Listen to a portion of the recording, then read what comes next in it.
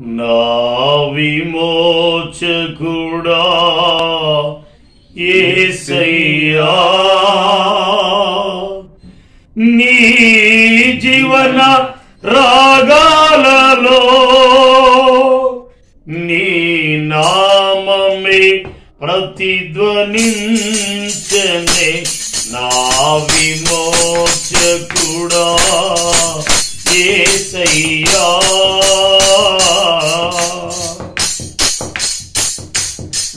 నీతి మంతుని నన్ను తీర్చి నీరు ఆత్మతో నన్ను నింపి నందునా? నీతి మంతుని నన్ను తీర్చి నీదు ఆత్మతో నన్ను నింపి నందునా? నీవు చూపిన కృప నీ మరువ నేను. నీవు చూపిన నీ కృప నీ మరువలేను నా విమోచకుడా ఏసయ్యా. జీవవాక్యం నాలోన నిలిపి జీవ మార్గములో నడిపించి నందునా. జీవవాక్యము నాలోన నిలిపి జీవ మార్గములో నడిపించినందునా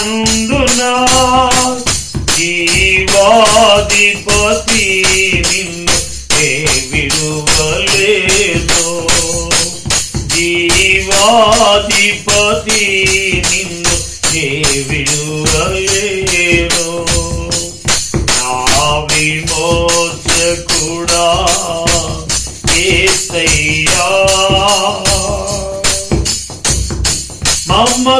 మమ్మతలూరించే వారెవరు లేరని నిరాశల తెర నుండి తప్పించి నందున? మమతలూరించే వారెవరు లేరని నిరాశల తెర నుండి విడిపించినందునా నిన్ను స్తుతించకుండా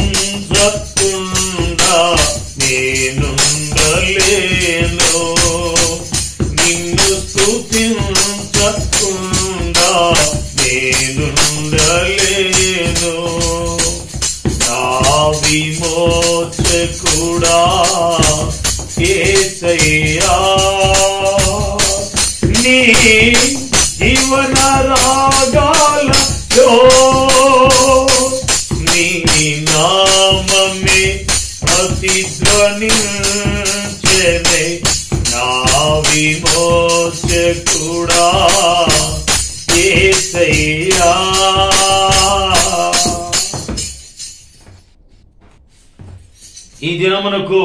దేవుడు ఏర్పాటు చేసినటువంటి వాక్య భాగం ఏమనగా?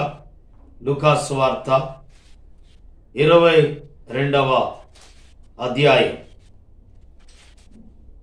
ఇరవై రెండవ అధ్యాయము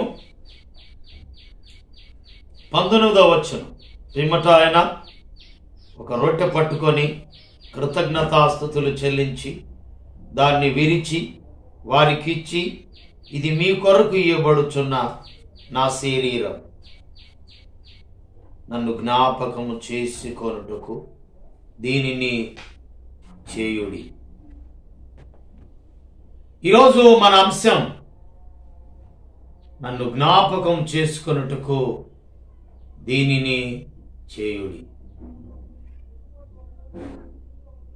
దేవుని వాక్యం సెలవిస్తుంది. ఆది కాండం ఆది కాండం రెండవ అధ్యాయం. మరియు రెండవ అధ్యాయము పదహారో వచ్చిన మరియు దేవుడైన యహోవా ఈ తోటలోనున్న ప్రతి వృక్ష ఫలమును నీవు నిర్భయంతరంగా తినవచ్చును. అయితే మంచి చెడ్డల తెలివినిచ్చు వృక్ష ఫలములను తినకూడదు. నీవు వాటిని తిను దినమున నిశ్చయముగా చచ్చదవని నరునికి ఆజ్ఞాపించాను మూడవ అధ్యాయం. ఆదికాండ. దేవుడైన యహోవా చేసిన సమస్త భూజంతువులలో సర్పం యుక్తి గలదై ఉండేది అది ఆ స్త్రీతో ఇది నిజమా? ఈ తోట చెట్లలో దేని ఫలములనైనను మీరు తినకూడదని దేవుడు చెప్పిన? అని అడిగాను అందుకు స్త్రీ ఈ తోట చెట్ట ఫలములను మేము తినవచ్చును. అయితే తోట మధ్యనున్న చెట్టు ఫలములను గూర్చి దేవుడు మీరు చావకూడనట్లు వాటిని తినకూడదని వాటిని ముట్టకూడదని చెప్పినని సర్పంతో అని అందుకు సర్పం మీరు చావనే చావరు. ఎలయనగా మీరు వాటిని తినుదినమున మీ కన్నులు తెరవబడనని మీరు మంచి చెడ్డల ఎరిగిన వారై దేవతల వై ఉందునని దేవునికి తెలియనని స్త్రీతో చెప్పగా స్త్రీ ఆ వృక్షం ఆహారమునకు మంచిదియు కన్నులకు అందమైనది వివేకమిచ్చు రమ్యమైను నది ఉండుట చూచినప్పుడు ఆమె దాని ఫలములలో ఆమె దాని ఫలములలో కొన్ని తీసుకొని తిని తన త- తనతో పాటు తన భర్తకును ఇచ్చెను.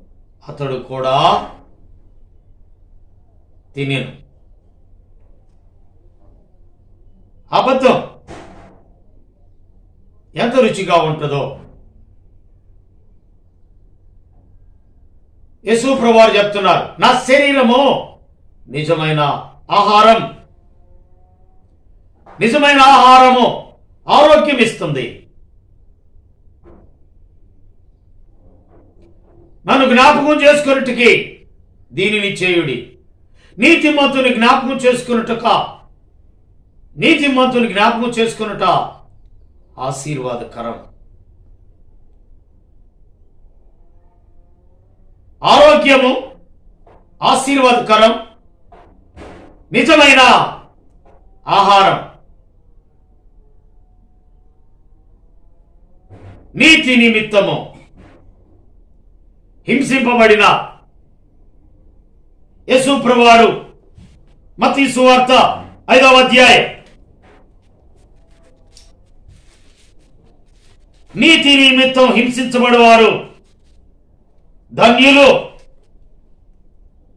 పరలోక రాజ్యము వారిది.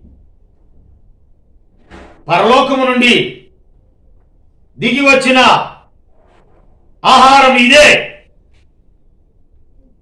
మీ పితరుడు మన్నా తిని చనిపోయారు. అబద్ధంతో కూడిన ఆహారం తిని చనిపోయారు. నా శరీరం నిజమైన ఆహారం. ఇదే పరలోకం నుండి దిగి వచ్చిన ఆహారం. మీ పితరులు మన్నాను తిని చనిపోయారు. అబద్ధపు ఆహారం తిని చనిపోయారు. నా శరీరము నిజమైన ఆహారము. ఆరోగ్యాన్ని ఇస్తుంది. నీతి మంతుని జ్ఞాపకం చేసుకుంటా ఆశీర్వాదకరము అగును. భక్తిహీనుల పేరు అసహ్యత పుట్టించును.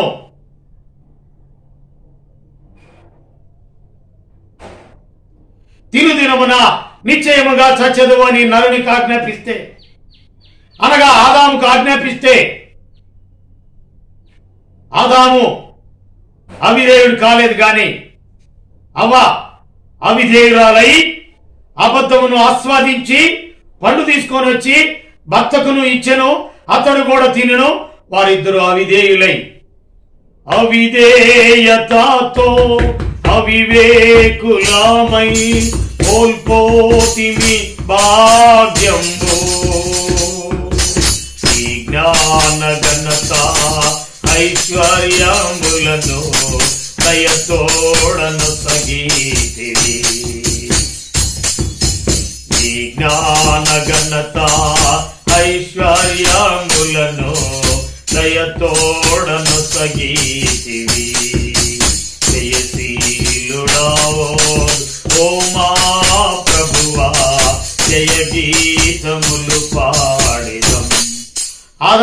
ఆదాము అపజయానికి ఇదిగో అబద్ధానికి అన్యాయానికి మోసానికి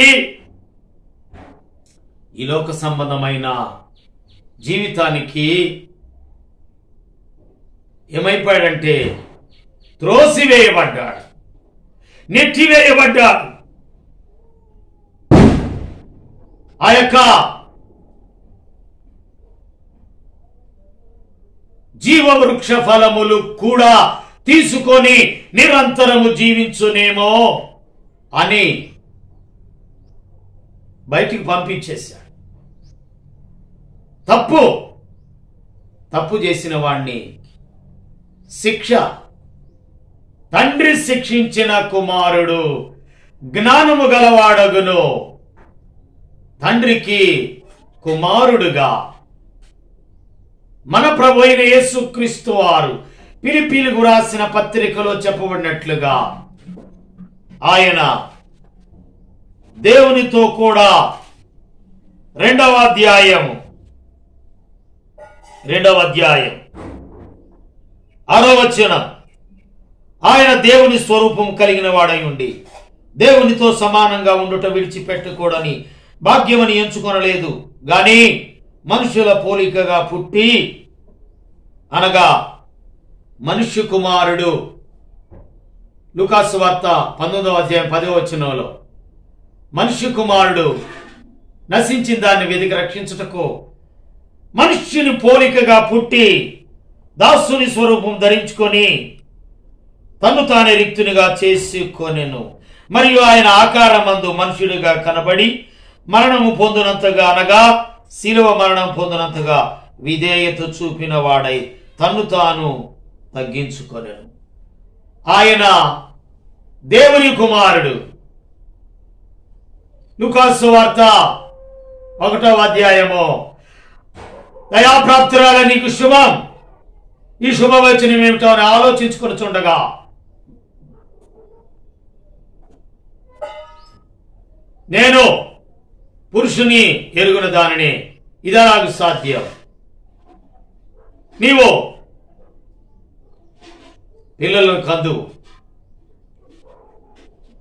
అన్నప్పుడు నీ గర్భవాసమున పుడతాడు అన్నప్పుడు నేను పురుషుని ఎరుగున దానిని ఇదెలాగు సాధ్యము? పరిశుద్ధాత్మ నీ మీదకొచ్చును సర్వోర్తుని శక్తి నిన్ను కమ్ముకొనును. పుట్టబోవు శిశువు పరిశుద్ధుడై దేవుని కుమారుడు. దేవుని కుమారుడు. కుమారుడు శిక్షించబడుట. సర్వోన్నతుని కుమారుడు దేవుని కుమారుడు. అలాగైతే మనుష్య కుమారుడు నశించి దాన్ని వెతికి రక్షించుటకు. మరియ గర్భమున ఆయన పరిశుద్ధాత్మ వలన జన్మించినవాడు. ఆయన జన్మలో పాపము లేదు జీవితంలో పాపము లేదు. ఆయన చెప్తున్నాడు ఇరవై రెండవ అధ్యాయము లూకాసు వార్త పంతొమ్మిదో వచ్చినాం ఆయన పిమ్మట ఆయన ఒక రొట్టె పట్టుకొని కృతజ్ఞత స్థుతులు చెల్లించి దానిని విరిచి ఇది మీ కొరకు ఇవ్వబడుతున్న నా శరీరము. నన్ను జ్ఞాపకం చేసుకున్నట్టుకై దీనిని చేయుడని చెప్పాను. నన్ను జ్ఞాపకము చేసుకున్నట్టు నన్ను అనగా నీతిమంతుడు. ఆయన జ్ఞాపకం చేసుకున్నట్టు ఆశీర్వాదకరం. ఆయన శరీరం తినడం ద్వారా ఆరోగ్యము. నిజమైన ఆహారం అది. అవను మోసపుచ్చి అబద్ధము చెప్పి మోసపుచ్చి తినిపించిన సర్పం ఆదాము అవ్వ ఇద్దరు కూడా సర్ప సంతానము. చెరుపు చేయి పిల్లలారా మీకు శ్రమ.